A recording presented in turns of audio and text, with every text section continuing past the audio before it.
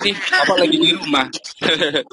lagi bekerja lagi Kan ngajar. ada Pak sekolah yang apa itu sekolahnya masih Masih ada ya? Itu. Iya. Mudah-mudahan semuanya sehat lah ya. Jadi kita semua warga Amin. Indonesia diberikan kesehatan. Amin.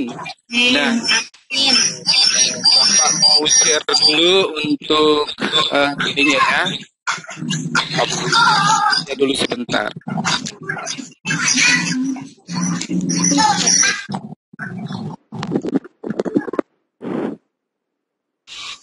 Nah, gimana? Udah kelihatan? Kelihatan nggak screen Bapak? Udah, udah. Udah Pak, udah. Udah, udah. Baik. Tadi, tadi Bapak sudah kenalan ya, Bapak namanya Ferry Amoslat dari SMP Negeri 1 Ratahan. Bapak adalah guru IPS.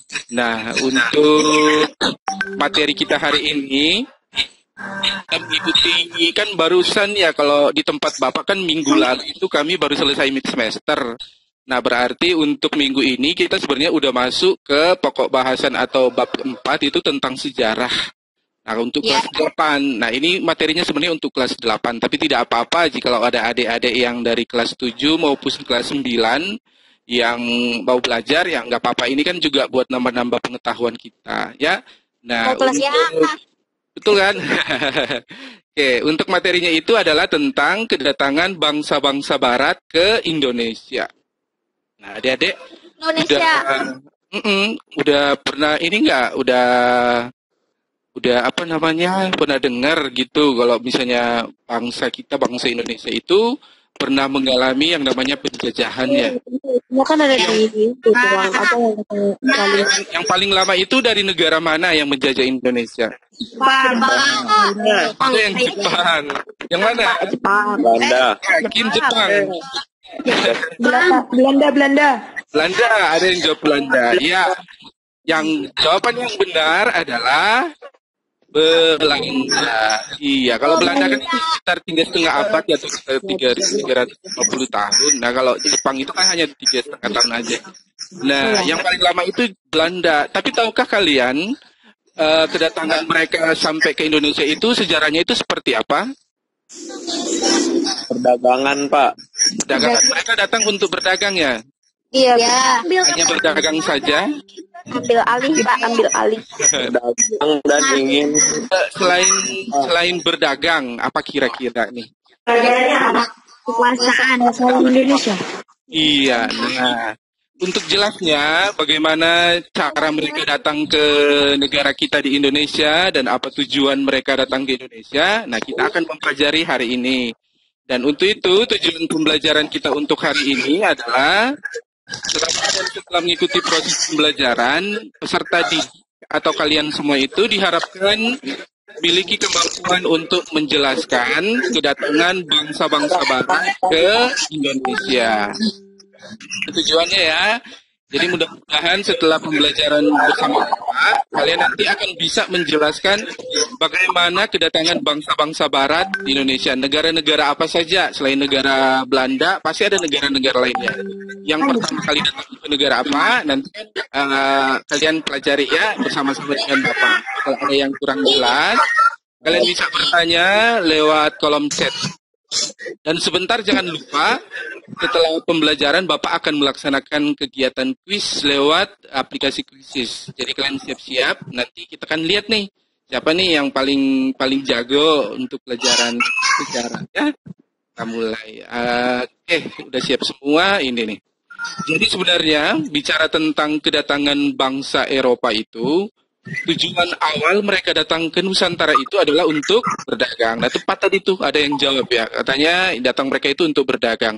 Tetapi pada akhirnya mereka ingin berkuasa di wilayah Nusantara. Memang kekayaan alam kita kan itu luar biasa ya pada zaman dahulu itu.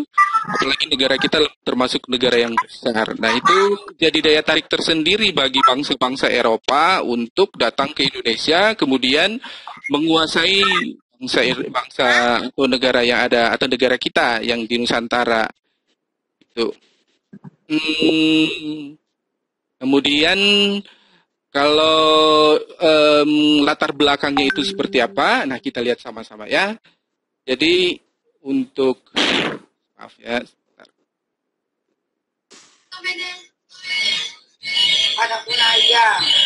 Nih, latar belakang kedatangan bangsa Barat ke Nusantara. Kita lihat sama-sama bagaimanakah latar belakang dari eh, bangsa-bangsa Barat ini datang ke Nusantara atau ke Indonesia. Ini Nih, latar belakang yang pertama itu adalah akibat runtuhnya kekaisaran Romawi. Runtuhnya kekaisaran Romawi ini terjadi pada sekitar tahun 476 Masehi yang berakibat pada kemunduran jalinan dagang antara Asia dengan Eropa. Nah, zaman kemunduran ini disebut sebagai zaman kegelapan atau Dark Age. Ya.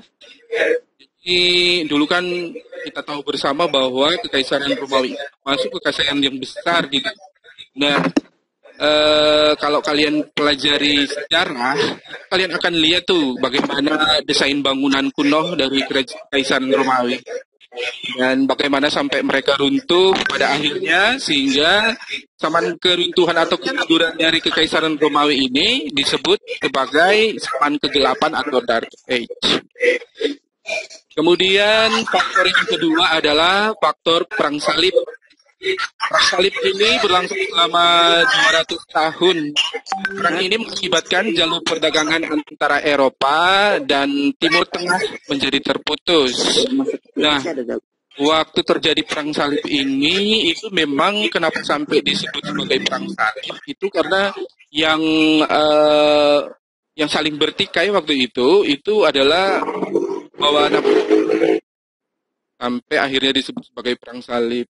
Kemudian akibat adanya perang salib ini, pedagang Eropa akhirnya menuju ke Indonesia untuk mencari rempah-rempah. Nah, karena kalau waktu perang salib ini kan itu di, di bagian Eropa dengan Timur Tengah, itu mereka saling bertikai. Jadi akhirnya untuk mendapatkan rempah-rempah di daerah sekitar Eropa itu jadi agak sulit, sehingga mereka akhirnya melakukan pelayaran eh, samudra sampai menuju ke tanah air kita yang dulu namanya itu lebih dikenal dengan Nusantara. Kemudian em, faktor yang ketiga itu adalah jatuhnya Konstantinopel ke umat Islam. Pada tahun 453, 1453, uh, Khalifah Utsmaniyah berhasil menguasai Konstantinopel. Nah, adik-adik, kalau kita mempelajari tentang Konstantinopel, ini sebenarnya dulunya itu memang disebut Konstantinopel merupakan salah satu ibu kota dari eh, Kekaisaran Romawi yang letaknya kalau sekarang itu di sekitar Turki gitu. Nah, karena perkembangan zaman, akhirnya kota-kota Konstantinopel ini beralih nama menjadi Istanbul. Jadi nanti kalian bisa baca ya, lihat-lihat juga di apa namanya di Google. namanya di Google. Kalau Konstantinopel itu, sudah berubah menjadi berubah menjadi kampung sekarang. Ini menimbulkan kesulitan kesulitan Kawan, Ya, dalam bidang perdagangan. dalam bidang perdagangan. Melatar belakangi kedatangan barat ke Indonesia. Indonesia. Oh ya, sekarang oh ya, sekarang mereka itu ke Indonesia memang betul pertama itu tujuannya adalah untuk berdagang atau mencari rempah-rempah. Gitu. Nah, ini kalau kita lihat bagaimana adanya penjelajahan samudera, jadi itu mereka dari daerah Eropa, kemudian eh, menyusuri ini nih di bagian barat. Mohon maaf, ininya hilang ya?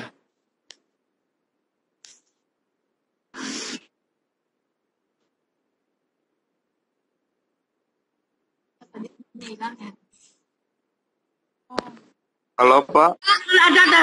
Kok hilang? Oh iya. Ada. hilang pak hilang Udah ada udah. ada Ya, mungkin mungkin karena sekarang banyak yang hadir nih. Nah, kita berus- beruntung nih bisa kenalan sama teman-teman di seluruh Indonesia kan, jadi bisa belajar bersama. Iya iya saya beruntung. Baru kali ini kan kita belajar bersama nih, bisa ketemu dengan Pak Ferry dari Manado, adik-adik dari seluruh Nusantara, ya. betul betul betul Kita kasih Iya. terima kasih deh buat eh, rumah belajar ya. Sekarang kan screennya udah ada ya. Jadi adanya pelayaran samudera namanya. dari Eropa, kemudian mereka sampai ke wilayah Nusantara. Nah, selain itu, faktor yang lainnya juga adalah tentang perkembangan ilmu pengetahuan, di mana kemajuan teknologi mendorong bangsa Barat melakukan penjelajahan yang pada akhirnya menemukan bumi Nusantara. Ya, kalau kalian belajar sejarah nanti mungkin di sini ada yang suka sejarah atau gimana nih? Suka sejarah ya? Kayak kan bangsa yang besar itu menghargai sejarah bangsa. Nah, jadi karena kemajuan teknologi, nah uh, mungkin adik-adik ada yang tahu tentang in, uh, revolusi industri nggak? Hmm, Ada. Tahu. Apa tuh coba revolusi Tahu. industri? Kita kan Revolusi sekarang- industri adalah Hmm? Adalah itu gimana semuanya diubah jadi mesin, pakai mesin. Ya, betul sekali. Terima kasih. Terima kasih ya jawaban yang luar biasa. Oke, betul. Nah, waktu itu kan karena adanya revolusi industri, nah sehingga bangsa-bangsa barat itu membutuhkan yang namanya bahan mentah. Nah, bahan mentah itu paling banyak itu adanya di daerah-daerah seperti di wilayah Nusantara kita. Nah, mereka akhirnya melakukan pelayaran samudra untuk mencari bahan mentah yaitu dalam bentuk rempah-rempah yang akan diolah dalam industri, kemudian eh, akhirnya mereka sampai ke Nusantara. Nah, sedang- sedangkan tujuan kedatangan bangsa Barat ke Nusantara itu kita lihat ada tiga, yaitu biasa dikenal dengan istilah 3G. Jadi bukan 3G ini ya 3G data atau untuk berinternet ya. Ini adalah 3G yang eh, merupakan tujuan daripada bangsa Barat datang ke wilayah Nusantara. Itu yang pertama adalah gold. Gold kan kalau bahasa Inggrisnya tadi pelajaran bahasa Inggris goldnya itu artinya apa tuh? mas Mas, Nah, berarti kalau tujuannya emas itu berarti mereka tujuannya adalah untuk memburu kekayaan.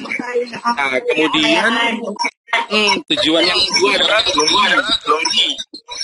Glory. Ada yang glory? Glory. kejayaan kejayaan menang. kejayaan. Kejayaan. Ah, Oke, boleh. Artinya itu mereka memburu kejayaan dan gospel yang tujuan yang terakhir atau gospel yaitu mereka menjalankan eh, tugas suci yaitu untuk menyebarkan agama. Nah, rata-rata nah, rata-rata bangsa barat itu mereka adalah adalah agama Kristen. Agama. Hingga kalau seperti Bapak itu di daerah Bapak itu mereka Bapak itu mereka datang di sini di sini Kristen. itu adalah gold, dan gospel dan gospel. Nah, selanjutnya ini kita lihat negara kalau misalnya ada yang tahu nih negara yang pertama datang ke Indonesia dalam rangka eh, berlayar itu atau mencari rempah-rempah itu adalah negara apa? Portugis. Yakin? Yakin? Portugis Bangsa Portugis. Portugis merupakan bangsa Eropa pertama yang mencapai kepulauan Nusantara. Jadi pencarian mereka untuk mendominasi sumber perdagangan rempah-rempah yang menguntungkan itu terjadi pada awal abad ke-16. Nah itu kalau dilihat di gambarnya itu tuh mereka kan eh, wilayah Portugis itu kan ada tuh di daerah Eropa tuh yang di bagian eh, Eropa bagian barat itu tuh. Kemudian mereka akan menyusuri eh, samudra eh, Atlantik ya, kemudian sampai ke akhirnya ke Indonesia, Hindia dan ke Indonesia. Kemudian nih tokoh, inilah tokoh yang dari Eropa yang membuat kawasan Nusantara dikenal oleh Eropa dan dimulai kolonialisme itu berabad-abad oleh Portugis bersama bangsa Eropa. Pada tahun 1512 dia mengirim Antonio Alvaro de Francisco ke Maluku.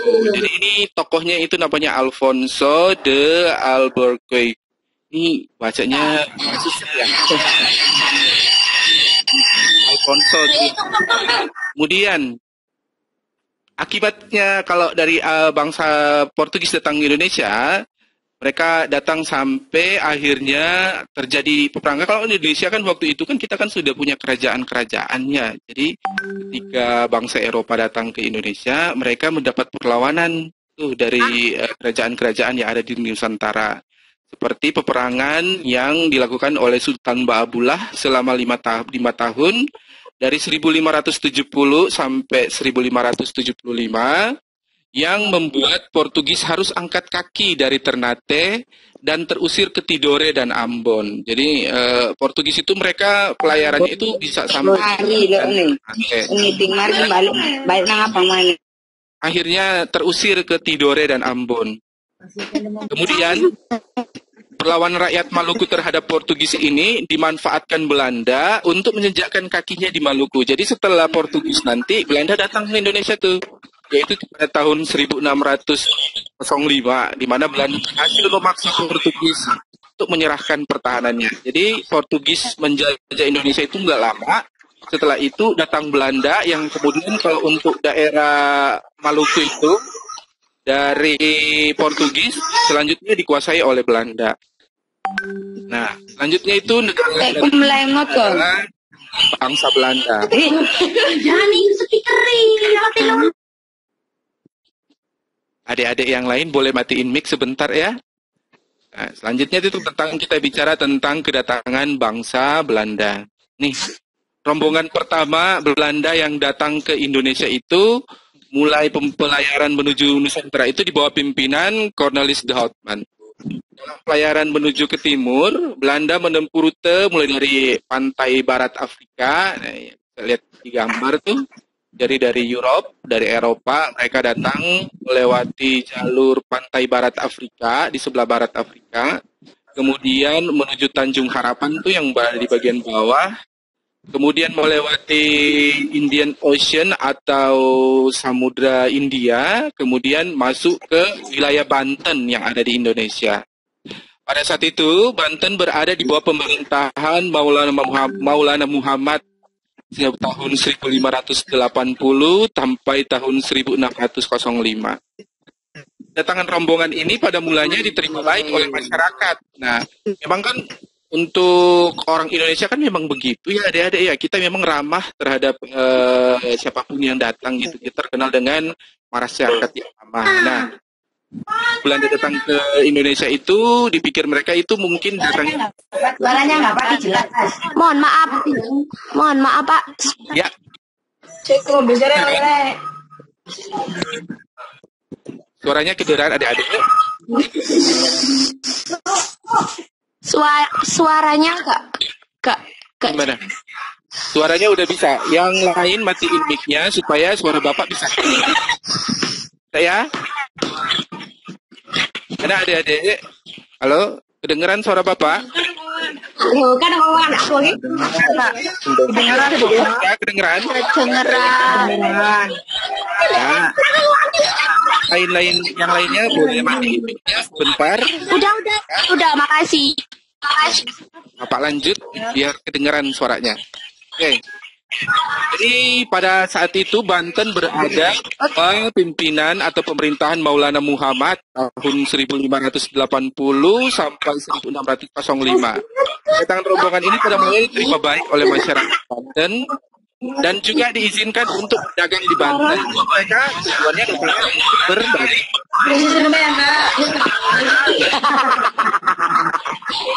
Aduh, ini dulu ya.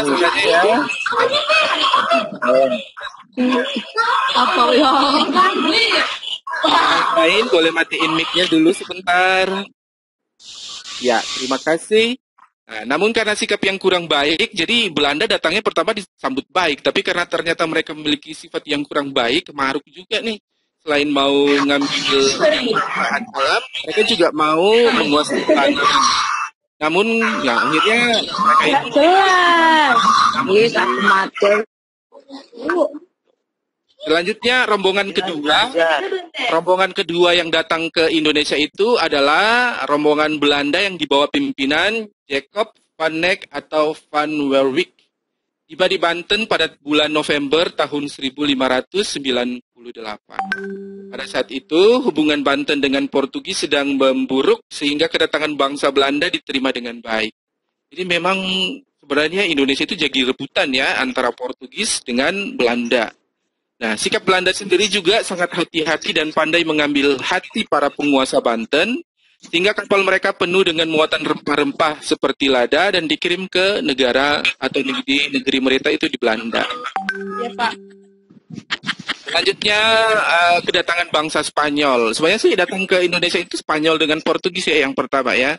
Tapi nggak apa-apa kita lihat sama-sama kedatangan bangsa Spanyol. Nah ini tujuan kedatangan bangsa Spanyol ke Indonesia itu sama. Rata-rata mereka itu datang ke Indonesia mempunyai tujuannya sama yaitu mencari kekayaan, kemudian menyebarkan agama Nasrani atau agama Kristen dan mencari daerah jajahan. Nah, kalau ternyata kalau untuk Spanyol ini mereka memang tujuan utamanya itu selain berdagang memang untuk mencari daerah jajahan. Nah, adik-adik pernah dengar nggak istilah imperialisme dan kolonialisme? Pernah ya? Pernah. Nah, kalau imperialisme itu ya tujuannya itu seperti ini nih uh, mereka itu selain mencari kekayaan, mereka itu juga memperlebar wilayah kekuasaan atau datang untuk mencari daerah jajahan. Nah, kalau koloni itu kolonialisme itu mereka mencari daerah koloni, negara-negara koloni yang mau dijadikan negara-negara uh, bagian dari negara mereka gitu. Jadi seperti negara-negara persemakmuran oleh bangsa Inggris seperti itu. Nah, pada tanggal 8 November 1521 kapal dagang Spanyol berlabuh di Maluku. Setelah melalui Filipina Utara, kemudian langsung ke Tidore. Di sini bangsa Spanyol diterima baik oleh rakyat Tidore. Nah, ini dia faktor datangnya Spanyol ke Indonesia. Nah, Spanyol itu datang ke Indonesia itu mereka memiliki tujuan atau faktor-faktornya adalah selain mencari kekayaan termasuk berdagang, mereka juga menyalurkan uh, jiwa jelajah mereka. Memang Spanyol itu terkenal dengan negara atau bangsa yang suka menjelajah atau suka uh, melakukan pelayaran samudra. Kemudian mereka juga meyakini bahwa kebe, uh, akan adanya keberadaan dari Prester John, kemudian menyebarkan agama dan mencari kemuliaan bangsa. Itu faktor datangnya bangsa Spanyol ke Indonesia. Nah, Adapun dampak kedatangan bangsa Barat ke Indonesia itu ada dua, yaitu dampak positif maupun dampak negatif. Kalau dilihat dari positifnya sih eh, sebenarnya juga ada gitu, bahwa dengan datangnya bangsa-bangsa Barat ke Indonesia banyak dibangun pelabuhan. Jadi di Indonesia itu pertama kali mulai dibangun-bangun pelabuhan itu karena datangnya bangsa Barat itu banyak dibangun pelabuhan sehingga Indonesia menjadi pusat perdagangan di Asia Tenggara terutama di daerah Malaka. Tahu kan daerah Malaka itu ya? Daerah Malaka itu di bagian uh, Malaysia sampai ke bagian uh, Pulau Sie eh, apa di uh, di kepulauan-kepulauan di bagian-bagian Sumatera ya. Jadi itu jadi terkenal tuh kita uh, sebagai daerah jalur perdagangan dunia. Setelah kedatangan bangsa Eropa di Indonesia, banyak berdiri pusat-pusat industri. Jadi uh, akhirnya karena datangnya bangsa-bangsa Barat itu, kita juga mulai berdiri pusat-pusat industri yang uh, mengurangi pengangguran karena otomatis kan kalau namanya industri berarti kalau udah dibangun berbagai macam industri di negara kita di Nusantara otomatis mereka membutuhkan uh, tenaga kerja nah tenaga kerja itu datangnya gitu. Atau dibutuhkannya itu adalah dari rakyat Indonesia kemudian dibangunnya sarana jalan darat sehingga ada akses antar kota jadi mulai terbuka itu jalan darat uh, kalau kita tidak bisa berhubungan dengan daerah lain kan susah ya. Jadi makanya akhirnya karena adanya datangnya bangsa-bangsa barat itu jalan sudah akses jalan itu sudah bisa terbuka. Kemudian mulai didirikan sekolah yang dapat mencerdaskan generasi penerus bangsa Indonesia. Walaupun dulu ya tujuan mendirikan sekolah apalagi oleh bangsa Belanda itu mereka hanya sampai ke sekolah rakyat itu. Jadi kalau misalnya sekarang itu hanya setara dengan sekolah dasar itu SD ya. Belum ada sekolah-sekolah tinggi kalau yang dulu. Tapi kita bersyukur karena waktu itu juga akhirnya kita mengenal yang namanya sekolah. Nah, dampak negatifnya ini nih yang uh, lumayan besar terjadi bangsa kita yaitu masyarakat merasa tertindas dengan bangsa Eropa yang selalu bersikap semena-mena. Kemudian terjadi pemberontakan yang mengakibatkan banyak warga Indonesia yang meninggal. kemudian bangsa Eropa mengadu domba. Ya, jadi diadu domba seluruh masyarakat Indonesia waktu itu kan salah satu salah satu ini mereka itu kan adalah dengan politik adu domba ya, supaya mereka bisa menguasai Indonesia.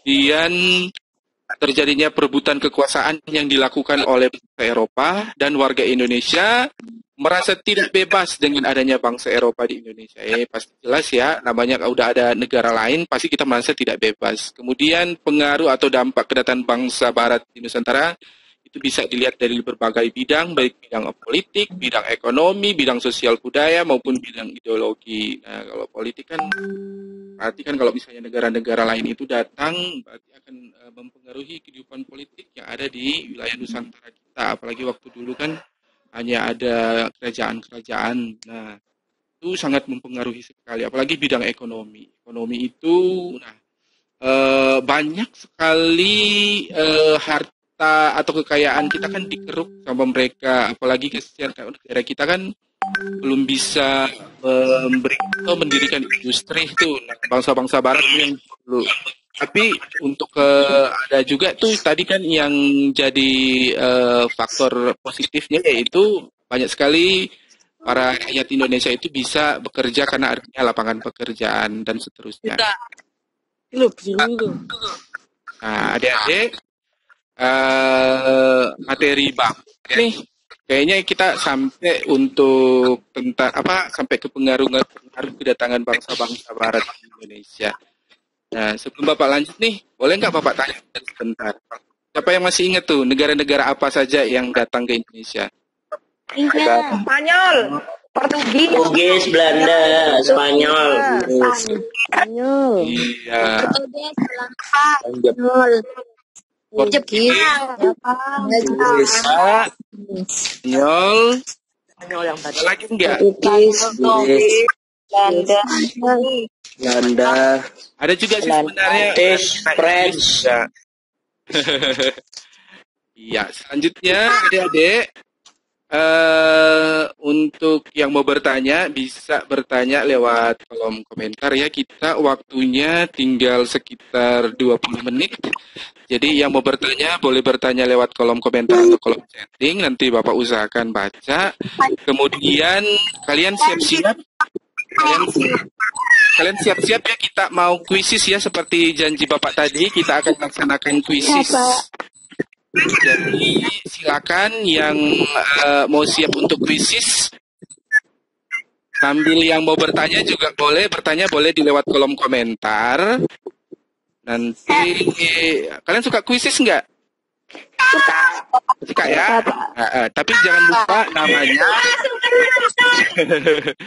Suka saya Pak. Jangan lupa ini ya.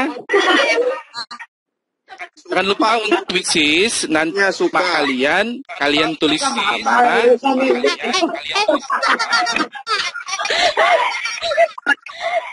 Oke, nama dan sekolahnya. Kenal ya. Oke, ya. Sudah siap untuk kuisis? Sudah siap untuk kuisis? Ini kodenya. Kelihatan nggak kodenya? Kelihatan. Kelihatan. Ya. silakan Bergabung. Pak, join, Pak, join, join, oke, weh, oke, weh. Silakan. Ikutan weh, oke, weh, oke, weh, saya coba, coba. Eh, ah, Lagi ditunggu yang mau masuk belum ada yang masuk nih. Jadi kodenya itu 391069. Ya. Iya. Ada Ludianto L. Selamat datang Ludianto. Selamat bergabung di Kuisis. Siapa lagi nih? Ada Cantika. Wah, pasti orangnya cantik nih. Almira Azaria.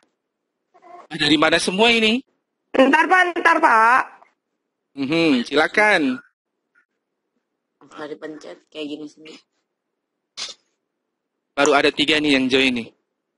Kita tunggu ya, yang lain. Oke, ada Kurnia, Naila. Oh, mantep nih. Banyak yang ikut guys.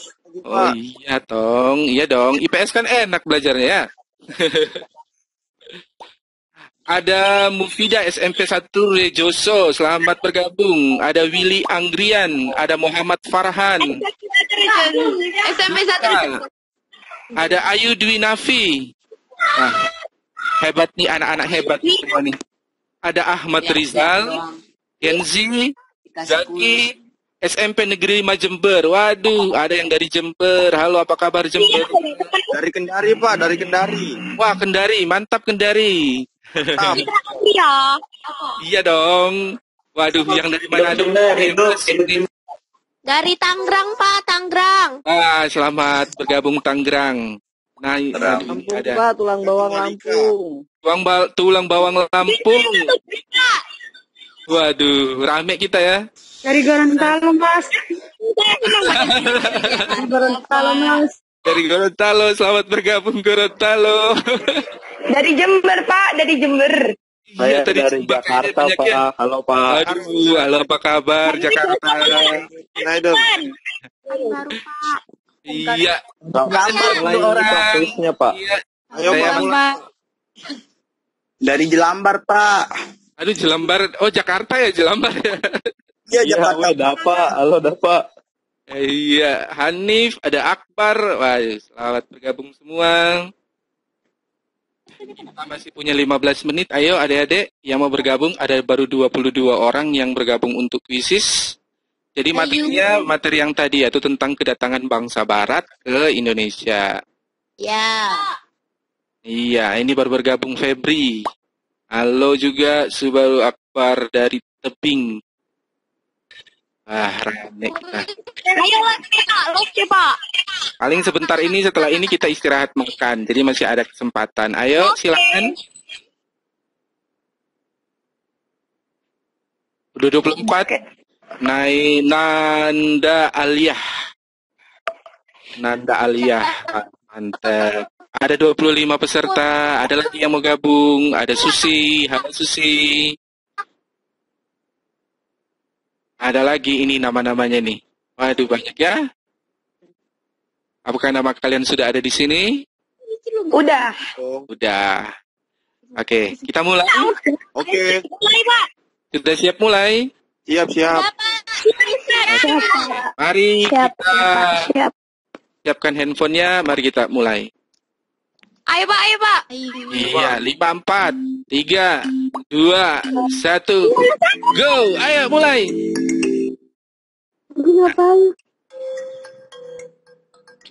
Aduh. Waduh, bunyi teng tuh. Enggak. Ah, nih udah mulai banyak nih. Ah, tuh. Keren. Ah, keren adik-adik. Ayo adik-adik. Ya, ya. Siapa yang di teratas? Posisi teratas. Kantika, Kensi, Muhammad Farhan, Syafira, Mufida, SMP 1 Rejoso. Aduh. Jangan, guys. Kok saya tidak ada, toh, Pak? Namanya nggak ada. Ada di bawah kali. Oh, Ibu Vida, Ibu Vida, Ibu Vida. Tin, puput, puput. Aduh. Yang benar semua ini ada cantika nih. Ayo semangat yang lain.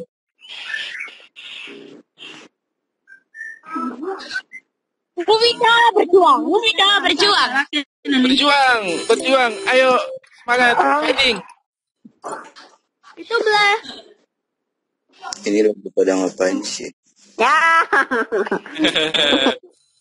Masih cantika. Cantika dari mana nih? Ya Allah. Iya Robi.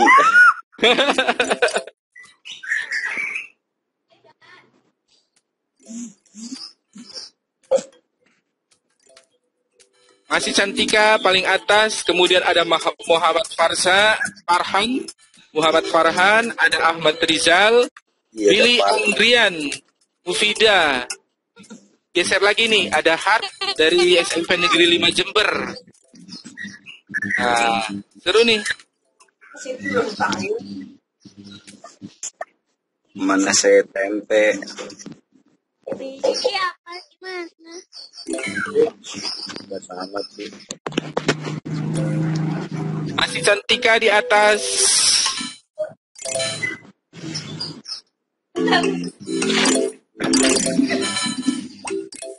Untuk adik-adik nanti yang ingin bertanya bisa lewat lewat kolom chat ya. Nanti sebentar Bapak akan baca eh, media sosial Bapak. Jadi nanti kalian juga bisa berhubungan dengan Bapak untuk pertanyaan-pertanyaan. Masih Cantika Muhammad Farhan. Bersaing tuh.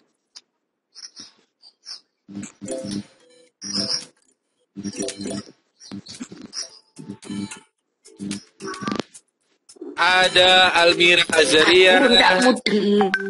Aku ada Evan, ada Self, Gak apa-apa. Cantika, Hart SMP 5 Jember, Muhammad Farhan, Ili Andriawan, Muhammad Ahmad Rizal, Almira Azaria, Muhammad Duta Saputra, Syafira Nur Handayani, Mufida SMP 1 Rejoso, Evan, Kensi Akmal, HMM ini siapa nih ya? HMN. ada Kania, ada Nazwa Aura, ada Subaru Akbar dari Tebing. Ada Saki Fatuniam, ada Citra Aulia, Dita 08, Mutia Asla, Hanif Pandu, Ivana Cantik, Anita M, Febri, Fati, Fatimatus, Dahro, Muhammad Jazuli, Semangat, semangat. Semangat semua, semangat. Akbar Maulana Is. Ishak. Kamu yang baru gabung. Silakan lanjut. Yang tengah, karena Bapak berada di wilayah bagian tengah. Kalau di Jakarta berarti sekarang masih jam 11 ya. Jadi kalian bisa istirahat dulu sebelum nanti akan lanjut ke materi yang selanjutnya yaitu mata pelajaran matematika. Dan jangan bosan-bosan ya untuk belajar. Dan Bapak Oke, tunggu Pak. Iya, Pak. pertanyaan-pertanyaannya bisa silakan ya ditanya ke Bapak boleh di eh, akun media sosial Bapak. Jadi Oke, kalian Pak. bisa mengakses untuk belajarnya. Nah, mudah-mudahan masih bisa bertemu di kesempatan yang selanjutnya. Dan Amin. sehat, tetap sehat ya. Kita semua diberkati oleh Tuhan. Oke, wassalamualaikum warahmatullahi wabarakatuh. Waalaikumsalam. Pak, terima kasih Pak. Terima kasih Pak. Terima kasih Pak. Kembali. Salam saya Dari Muhammad Pasuruan ya. Farhan. Kalau saya ada SMP satu yang Rejoso. Ya. Terima Makasih Pak, dadah. Boleh Dadah. istirahat dulu ya. Tapi ada juga satu yang mau Oke. See you Pak. See you tomorrow. Sama-sama. See you. Sehat selalu. Pak. Sehat. See you Pak. Ah, iya, Abin dari Ini ada video Nah, dari anak Slat. Iya, Ferry. Ya, Poslat. Oke.